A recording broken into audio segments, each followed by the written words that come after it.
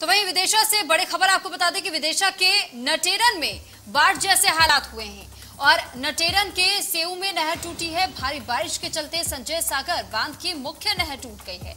सेऊ से नागौर तक क्षतिग्रस्त हुई नहर और खेतों में पानी भी भरा है।